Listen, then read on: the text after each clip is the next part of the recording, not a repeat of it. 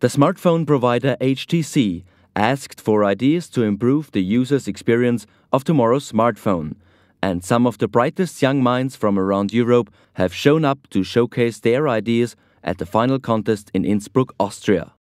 Before the contest started, Fabian Hemmert, one of the leading international experts for new ways of mobile telecommunication, brought insights from his world of feeling the digital. It's important to do the crazy and the impossible. If it, well, today it might be crazy impossible, but it might be the future, of course. Seven teams from Poland, Spain, Germany, and Austria qualified for the final round and presented their ideas of tomorrow's smartphone. Our idea is to make navigation much smarter than just using GPS. It's easy and quick answer the phone on speakers mode. Everything what you should do is tap twice screen at any place. We need to develop some idea that is uh, some security method that will be uh, secure, impersonal, intransferable. It has to be easy.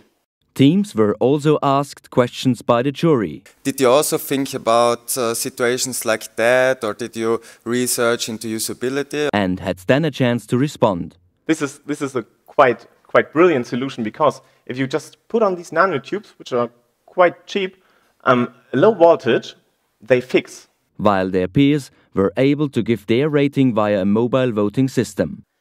Ladies and gentlemen, the winning team of the Tomorrow Talks contest, supported by HTC 2012 in Innsbruck, Austria, is Team Smart Navi Germany.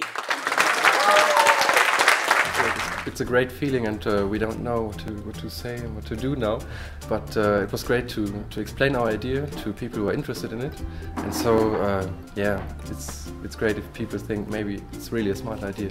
Tomorrow Talks is a fantastic opportunity to gain a lot of insights from what the young people are looking forward, what there is in tomorrow's mobile phones and smartphones.